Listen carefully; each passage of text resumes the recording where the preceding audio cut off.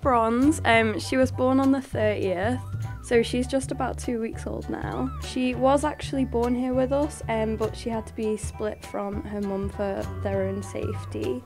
Um, the mum came in through our TNR program, um, which is where we trap, neuter, and release the adults. Um, so her mum will get spayed and then released back into the area. This is Coco. She came in with her two brothers um, as her owners are moving off island. She's around four. She's super sweet, um, but she doesn't get on with other cats, so that's uh, why she's still here. Her brothers have got homes.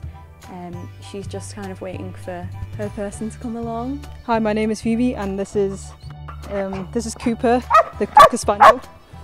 He's a bit barky, as you can as you can tell, but he's a really nice dog once you get to know him. And he's three years old.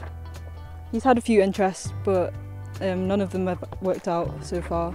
If you're interested in him, then it might take a while to get to know him. The way to go about adopting our animals is by filling out a um, home finder questionnaire. You can find them online and are on our website, or you can pop into the Manx SPCA and they are in our reception within this book about how to adopt.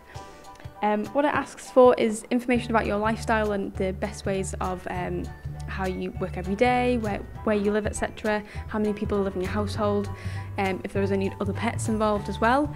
Um, asks about your previous experience, about what other dogs you've had in the past, and also asks you what your ideal dog would be. What if you'd like it to be dog friendly, child friendly, small, medium, any particular breed, ages.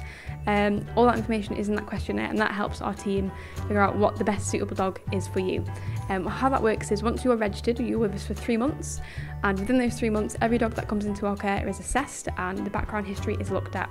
Every dog that does come into our care, we go through every single form that is registered and we will choose out the best suited forms for that particular dog.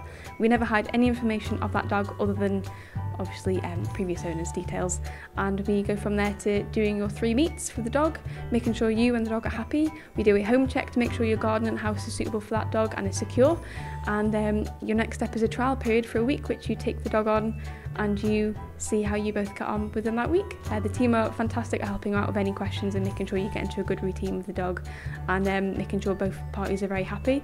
If it's not for you, then that's absolutely not a problem. Um, that dog will come back into us and we'll continue searching for that home and continue searching for a dog for yourself. Um, but if it does work out, then we do all the paperwork, your microchip, and um, you're officially a brand new MSPCA dog owner.